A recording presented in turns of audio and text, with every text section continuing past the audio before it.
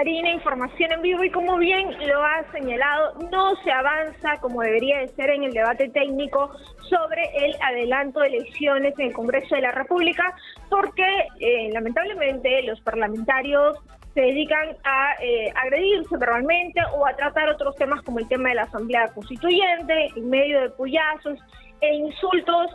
Se está tratando de debatir, de poner sobre la mesa este tema que finalmente se viene debatiendo desde ayer.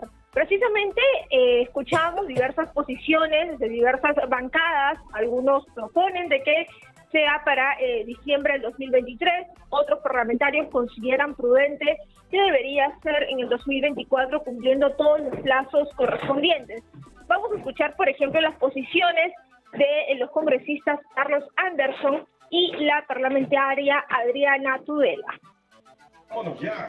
Ya de inmediato nos dice un congresista, casi al borde de un ataque, ¿no? Al corazón. Pero nos dice también, vámonos ya y de inmediato este, nos exige, porque esa es la palabra, nos exige que haya una asamblea constituyente. Una asamblea constituyente. Algo que no va a pasar.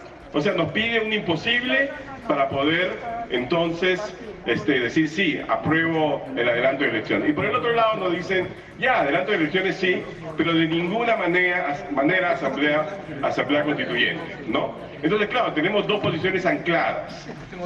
En el medio tenemos la posibilidad de tener alguna reforma, alguna reforma, ¿no? Entonces yo sugiero que de repente para poder demostrar que efectivamente tenemos voluntad de irnos, ¿qué les parece si una de esas reformas a considerar sea la inclusión de la figura de la Asamblea Constituyente en el marco de la Constitución como un mecanismo alterno justamente para el cambio parcial o total de la Constitución. Exige asumir la responsabilidad del momento que vivimos.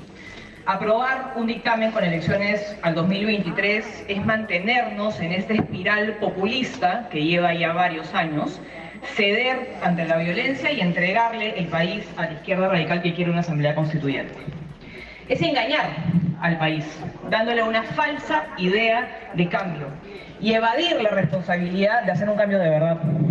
Ya escuchamos que se vayan todos en el 2019, en el 2020, en el 2021. ¿Ha cambiado algo?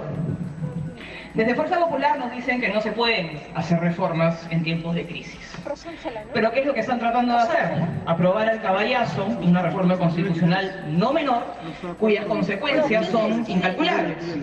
Dicen que no se pueden aprobar reformas en tiempos Bien, esta, este último comentario por parte de la parlamentaria Adriana Tudela en referencia a lo que ya señaló durante la mañana el congresista Hernando Guerra García de Fuerza Popular, quien había precisado que Fuerza Popular iba a apoyar, iba a presentar un proyecto para adelantar las elecciones a diciembre del 2023. Sin embargo, Karina, ya son dos días de pleno y el tema no avanza como correspondería. Precisamente en estos otros temas que eh, se están abordando dentro del pleno y que no tienen nada que ver con el tema de adelanto de elecciones, el congresista Segundo Montalvo de Perú Libre pidió la palabra para qué? Para pedir una oración, alargando más así el tiempo del pleno del Congreso, pidió que todos los congresistas, tanto de izquierda como de derecha, se pusieran a orar. Se le dio el tiempo para que oren, posteriormente los congresistas de diversas bancadas continuaron insultándose, agrediéndose, tildándose incluso de terroristas. Karen, eh, después de rezar. Después, de, rezar, después de ponerse como angelitos y resulta que se siguieron agrediendo, o sea, no les sirvió de nada, puro show.